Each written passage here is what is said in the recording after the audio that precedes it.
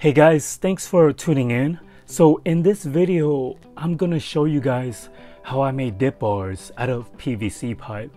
Now, this isn't my idea. It's not an original idea. It's been done many times before. I've seen it on YouTube's, on online forums. I also saw people doing something like this in a park nearby, so it gave me an idea to try to make my own.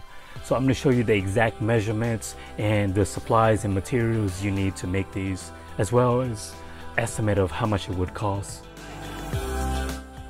For these uh, dip bars, you need PVC pipes that's one and a half inch thick.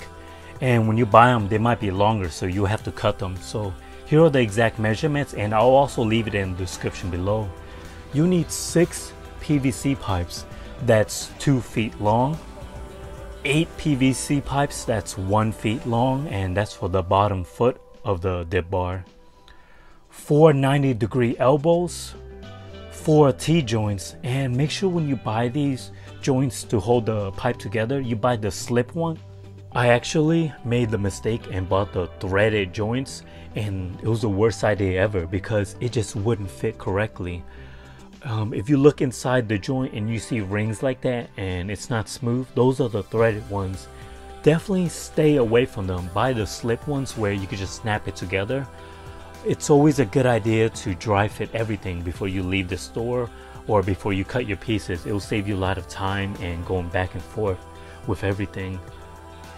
You also need eight caps.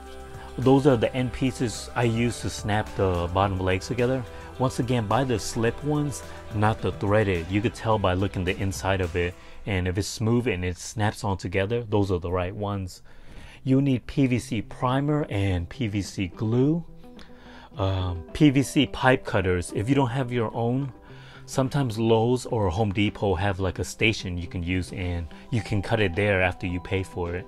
So definitely check that out as an extra option. Now, if you have all the right supplies, it's actually really simple to do and put together. You basically take the two feet long pipes, uh, that's for the sides and one in the middle. And then after you cut them, you attach the 90 degree joints that goes across from them. And for the bottom part, you use the T-joints at the bottom and you snap it together. And after that, it's the legs on each side. And when you cut them, you want to add the primer and then glue and then snap together to hold them together.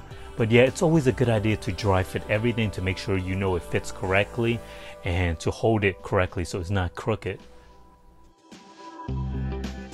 So that's pretty much it. You just cut the pipes, put some primer and cement and seal it together with the joints. And once it dries, you can use it right away. It does shake a little bit because the ground isn't flat. The tiles are actually uneven out there, but I'm a I'm 173 pounds and I know for sure that would hold my weight without any issues. I actually try to take the dip bar apart and it wouldn't bulge. So if you do it correctly, it'll hold but I don't actually know what the weight limit is. If you find out, let me know. I do know there are some like YouTubers who were actually pretty big and they made dip bars out of PVC pipes and it held together just fine. Just make sure you keep it indoors when uh, not in use because I know wear and tear from like the weather and the rain could um, make the pipes wear down over time. So yeah, keep in mind this isn't the only way how to make a dip bar out of PVC pipes. There's different ways you can make it to make it more sturdy and stable if that's what you want. But I really like the way I made it here because it was really simple and easy to make and it's also very portable.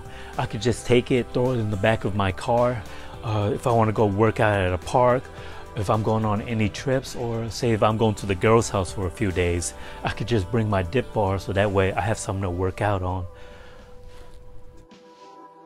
So yeah, that's all. Thanks again for watching. Hopefully you learned something from this video if you're trying to make a dip bar for yourself. Uh, feel free to subscribe if you want to stay up to date on my videos. If you have a channel of your own, definitely leave it in the comment section below. I'll love to check out what you got going on. Like, comment if you have any questions.